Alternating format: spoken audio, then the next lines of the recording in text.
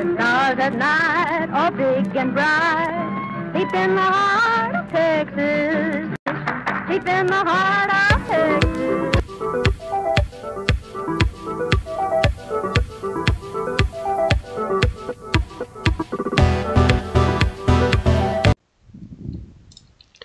What is up, everyone? Starman2290 here back with another Texas Chainsaw Massacre the game video.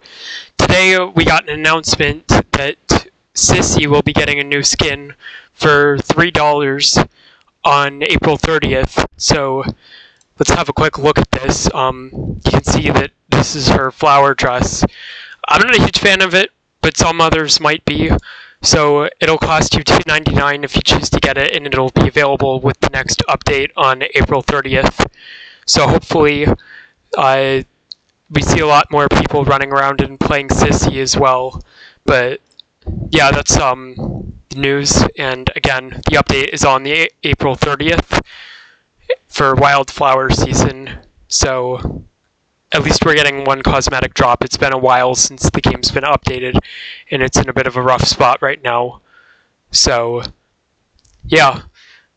Uh, keep an eye out for the next update for my next video, which will be on the 30th when the Texas Chainsaw Massacre update comes out. Thanks for watching, and have a good one.